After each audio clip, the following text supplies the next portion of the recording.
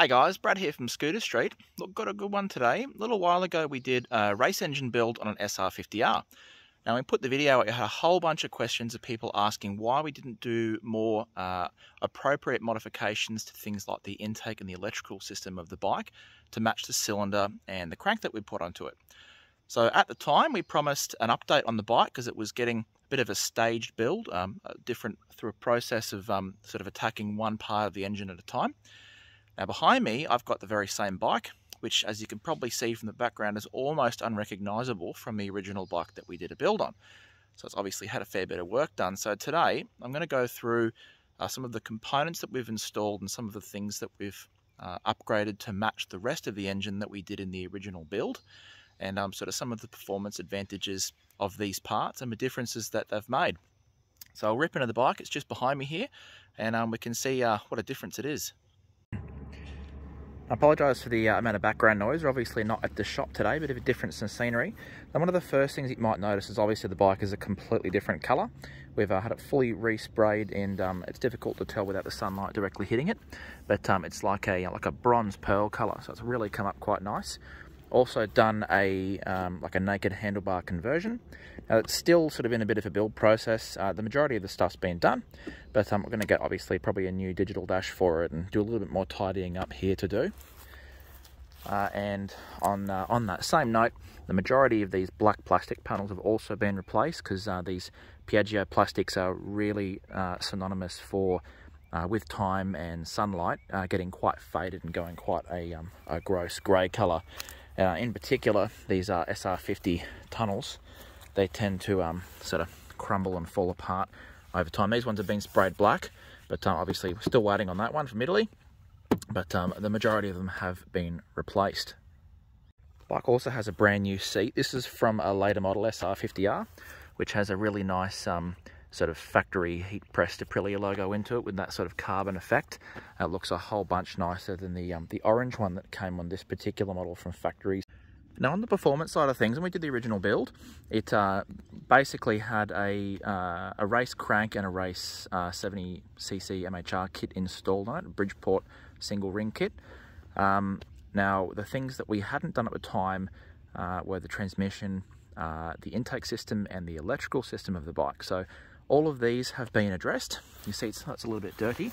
We've put a, um, a Dell'Orto PHBG 21mm carb on it with a uh, Malossi, I think these are an E5 with a cover. I um, made up this neat little bracket which um, just holds it because if you've had one of these on your bike before, particularly this is an aftermarket manifold, and the aftermarket ones are a bit um, softer rubber than the factory, or if you've got a really old factory one, they can also be quite soft, and you get quite a bit of um, sort of rattling around of the of the pod while it's moving. Obviously the factory airbox is bolted on and um, the intake manifold's bolted on so the factory intake system, the carb can't really move. It's captured between the two, the airbox and the intake manifold. But when you take the airbox away from it, and pod's just floating, they do uh, tend to have a bit of an issue of, and it did happen to this bike, going over a bit of a bump and the um, the pod filter getting jammed down between the tyre and the engine casing, which is obviously not what you want. So it's quite a cheap and uh, effective way of um, just securing that in there. That bolt there just sits into a little hole in the end of the cover. So it's not actually screwed, it's just holding it well enough that it can't move. And um, if you do need to change the jet or something like that, it is quite simple. Basically just undo the um, hose clamp on the back and it just pops in and out of place. It's not actually bolted, so it's quite handy. obviously the PHBG is a manual choke carb, so it's actually a Malossi kit, but Malossi use a Dell'Orto PHBG in their kit. So it's got a manual choke there, which is just installed on the side. The idea with this, excuse me, is that you can have the choke engaged and um, sort of once you've ridden about 100 metres up the road, you can use your foot just to click it back off once um, the bike is heated up enough that the choke is no longer needed. Now I'm not going to pull the, the, uh, the cover off because it's a bit of a pain, but um, inside here uh, we have installed a uh, full Malossi MHR overrange transmission. So this is the full variator and torque driver transmission, the overrange, which uses a different belt as well, which it comes with.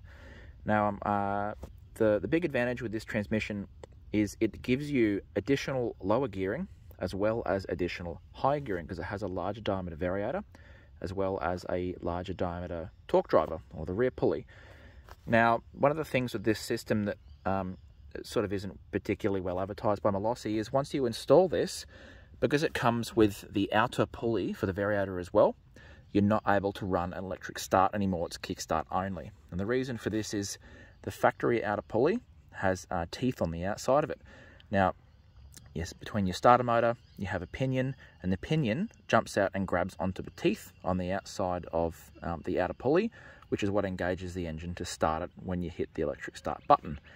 Now, the fact the Malossi uh, overrange outer pulley doesn't have teeth because it's aluminium, so it's a little bit, little bit too soft. Um, it'd be too much of a danger of it stripping because aluminium, uh, and so you're not able to use your electric start any longer once you do have an overrange kit. Now, although that's inconvenient, this sort of level of a build of bike is uh, you're embracing quite a bit of inconvenience because it's not exactly a, uh, a, daily rider anymore. It's really leaning towards a, a road registered race bike at this point. One of the other things we've installed obviously is this beautiful Malossi Air Force cover. Now you can also get a little red filter for the front of these, but um, the filter is really quite expensive so the customer opted not to go with it.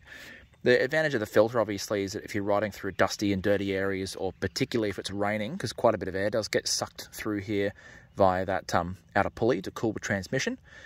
If you do uh, run the cover, the uh, the dust and, and water and that sort of thing is kept out. Now, as I mentioned, this uh, isn't exactly a daily for this customer, so uh, he's not at really any risk of riding through sort of dusty um, uh, areas or, or, in the rain. He's certainly not going to be riding, particularly with a pod filter anyway. Now, on that note, you'll notice we've also taken the rear mudguard off. Now, the rear mudguard on these from factory does bolt to the airbox. So as soon as you remove the airbox and go with the pod filter, unless you're going to make up a bracket for it, it uh, basically can't be run. And even then, even if you do make up a bracket for it, because the, the factory airbox sort of comes up around this level, the, um, the mudguard will impede with the pod filter unless you're running maybe a 45 degree pod or something. But it was sort of all a bit too much mucking around, so we just removed it. Looks a whole bunch cleaner, and it is uh, quite easy to access the carby from both sides with that, um, with that mudguard removed. Now, coming around to this side of the engine, you'll notice that is not a factory stator.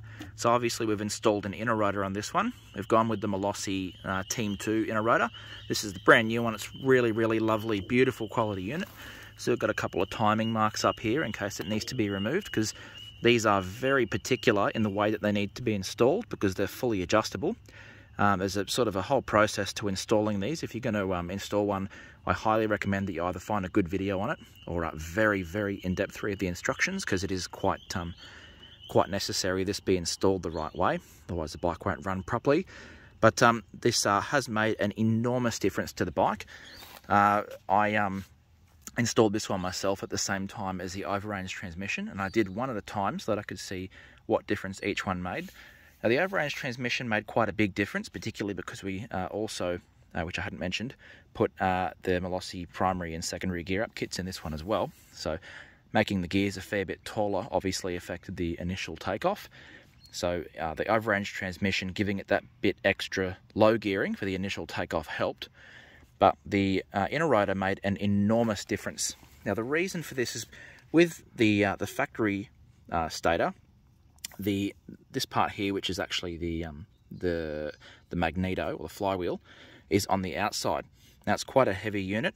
Now just the way centrifugal force works, because the heavy weighted mag mag magnetic part of the flywheel is on the outside, trying to get it to spin up is uh, quite a bit more load on the engine, particularly at low RPM. When you're trying to get that sort of nice, snappy, uh, fast initial takeoff, you're wanting the engine to be able to rapidly change an RPM from a low RPM to a high PM, high RPM very quickly. Now that huge big um, flywheel, which is directly bolted to the end of the crank, provides a huge amount of extra load or resistance to the engine in wanting to do that. Now an inner rotor, as the name suggests, the weighted heavy flywheel component is on the inside with the stator component on the outside. So there's obviously a lot less load on the engine being able to rapidly change an RPM and uh, it cannot be understated how much of a difference this makes. Honestly, it made the biggest difference. This thing is very difficult to keep on two wheels. It's, uh, it's honestly relatively scary to ride, and a big part of it is because of this. Having lots of power is one thing, but the access to the power uh, is um, is the difference between a bike that's rideable and a bike that's not rideable. And uh, if you're going to put a high revving cylinder kit on a bike that needs to get to a high RPM before it starts making power, an inner rotor is absolutely essential in being able to access that power in a way that's fun. Because uh, otherwise, off the mark, they're just really boggy and doughy and not really very fun to ride. So that off the mark acceleration is definitely what you get with one of these. Now the one drawback of an inner rotor is that you no longer have uh, a stator which is charging the bike. The stator component of the inner rotor only runs the engine. It uh, pretty much from that point disconnects the electrical system of the bike, of the engine, sorry, from the rest of the bike. Now what can be a little bit frustrating is you no longer have your lights because on the factory stator there's a lighting coil that powers the lights. So what we've done, you'll see here, it's sort of taped up so it's difficult to tell, but this is the factory um, stator plug that normally plugs into the stator, a little six pin plug. These are often a bit of a headache for Piaggio engines because they can commonly have some connection issues and cause a spark issue. Now, what I've done here, you'll see there's a little wire going into it just there. That there is essentially just a, a little tab pin that I've connected, which wires up to a switch up here. Basically all this does is uh, that coil there is uh, obviously on the bike side. That's where the power from the stator goes into that pin of the plug and powers the lighting for the bike. Now because we're not running a factory stator, there's no power going into that other than uh, this cable which I've rigged up. So essentially this is just a, uh, a, a positive, um, a wire going from the positive terminal of the battery up to a switch, which I've located up here, then back down into there. So basically, essentially what it does is allows you to run all the factory lights, including the tail light, via this little switch, which you normally wouldn't be able to do running an inner rotor. Now, obviously, it's fairly essential being able to um, use your lights on the road, uh, in, unless you're using it as a dedicated race bike. So this uh, cheap, easy little hack here just allows you to be able to run an rotor ignition, but um, with, um, with all the factory lights working as normal. Now, as with the lights, because the stator isn't providing any charge to the battery either, um, we've upgraded the size of the battery and also put a gel battery in there. So it uh, gets a bit more life between charges, but with a setup like this, you do need to run uh, a charger when you're not um, riding the bike. It's a good idea probably just to have some little connectors on there that you can sort of quick connect up when you're not um, riding the bike. That way it just puts a bit of trickle charge into the battery and keeps it charged up because it's not receiving that charge like it normally would from the factory stator. Now you see just tucked down here is a beautiful Malossi Digitronic CDI. This is the one that comes with the MHR uh, Team 2 inner rotor. Back in the day when I put, um, a few years ago, I put a Malossi um, inner rotor on my own personal scooter. This didn't come with this adjustable CDI. You had to buy it separately. It was quite expensive. They come with them now, which is great. Now you see there's quite a bit of adjustment here. Um, these ones have three different adjustments. So one is the mapping mode. So depending on the cylinder kit that you've got, Malossi do give you a chart of uh, what map um, it they suggest. Now the difference in these maps is um, advanced timing. So at different RPMs, Malossi uh, have essentially different tune settings, so it'll run a different level of advance depending on the RPM, according to what Malossi um, have sort of designated each particular cylinder kit will run uh, better at. When you look at the chart in the book, it's really quite complicated. Now, this one here I've just put at zero, which is a static, what they call a, a static advance. So I believe it's somewhere in the range of about 15 degrees or something like that. Static advance all the time, running 15 degrees, which I found works best on this cylinder kit. It did run a little bit wonky on some of the other tuning uh, settings, but depending on which cylinder kit you have, um, it will run differently. It's also what you're doing with the bike too. If you're doing drag racing or something, you might have a more aggressive um, uh, setup because you're not sort of looking to be able to pull up at, at, the lights and that sort of thing and idle nicely. It just seemed to idle a little bit oddly on some of the different settings. Now the offset is uh, for timing. So I mentioned that it's quite complicated or very essential getting the um, the timing of the inner rotor set up and the way that it's adjustable as it bolts on. The offset allows you to adjust plus or minus, I think somewhere in the range of about two degrees or something. If you think that maybe you've gotten the timing wrong, um, you can adjust it um, plus or minus two degrees. Uh, again, in the Malossi instructional book, they tell you uh, which number corresponds to which um, sort of timing offset. I've got it at zero because I was quite confident that I got it at the right level.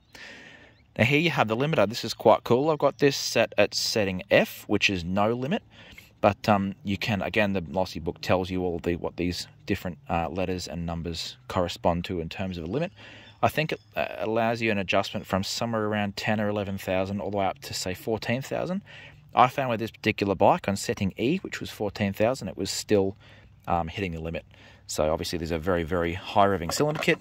Um, again, in this particular instance, we're not using it, but um, if you were looking to preserve the engine for, say, uh, you, were, you were racing on a track and you're looking to preserve the engine for a little bit longer, if it was under quite a hard workload for a long time, maybe you would use the, um, the limiter just to allow the engine not to rev past a certain level. Because this is a daily rider, it's not like it's getting its absolute brains thrashed out all the time, so you're able just to be a little bit sympathetic to um, to the engine just by backing off uh, periodically as you need to so it can um, cool back down. Now you might, might, might notice there's an, uh, two switches. So uh, one of these switches is the kill switch for the inner rotor. So this little, I think it's actually the yellow wire, um, once it's connected to earth, turns the engine off.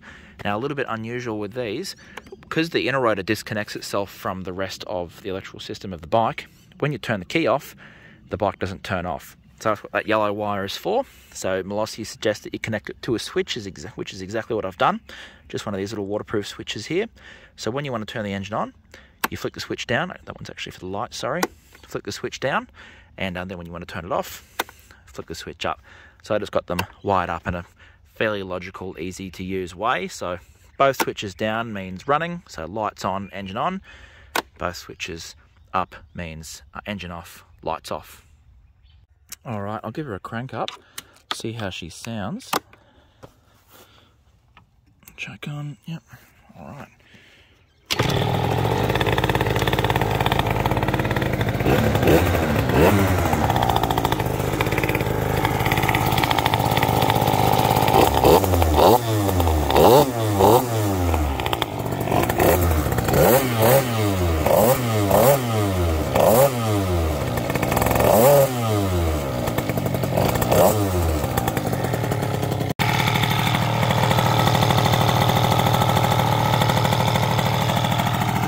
She runs at idles quite nicely.